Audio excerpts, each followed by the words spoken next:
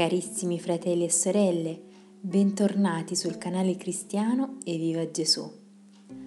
Oggi, giovedì 31 marzo, ascoltiamo il Vangelo secondo Giovanni 5, 31-47. Se fossi io a rendere testimonianza a me stesso, la mia testimonianza non sarebbe vera. Ma c'è un altro che mi rende testimonianza e so che la testimonianza che egli mi rende è verace. Voi avete inviato messaggeri da Giovanni ed egli ha reso testimonianza alla verità. Io non ricevo testimonianza d'un uomo, ma vi dico queste cose perché possiate salvarvi. Egli era una lampada che arde e risplende e voi avete voluto solo per un momento rallegrarvi alla sua luce. Io però ho una testimonianza superiore a quella di Giovanni, le opere che il Padre mi ha dato da compiere, quelle stesse opere che io sto facendo, testimoniano di me che il Padre mi ha mandato. E anche il Padre che mi ha mandato ha reso testimonianza di me. Ma voi, non avete mai udito la sua voce, né avete visto il suo volto, e non avete la sua parola che dimora in voi, perché non credete a colui che egli ha mandato. Voi scrutate le scritture, credendo di avere in esse la vita eterna.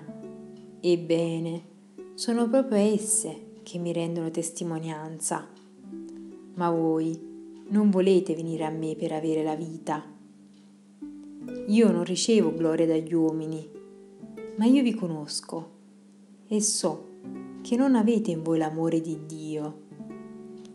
Io sono venuto nel nome del Padre mio e voi non mi ricevete.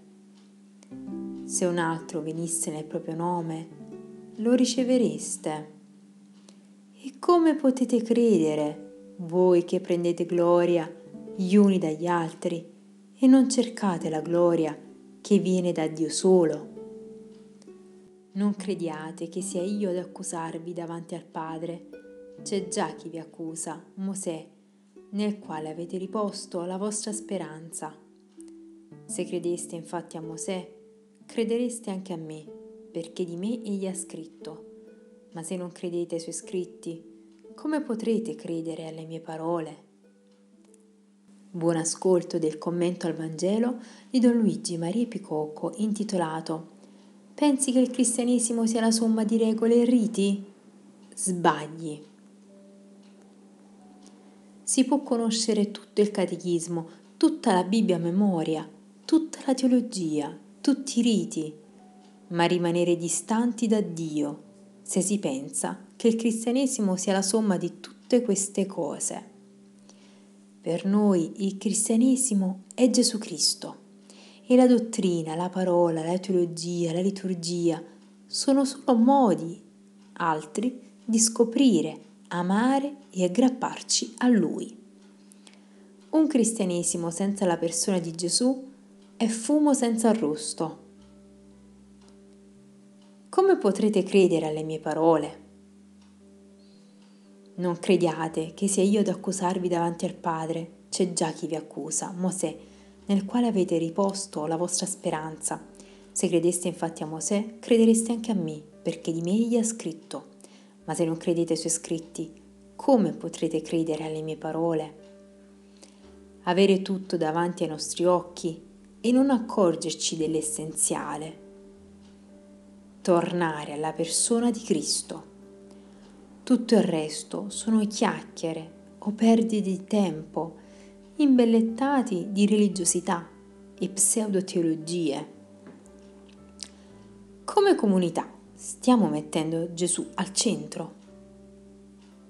La conversione a cui ci invita il Vangelo di oggi non coinvolge solo personalmente, ma ci interroga anche come comunità, come Chiesa.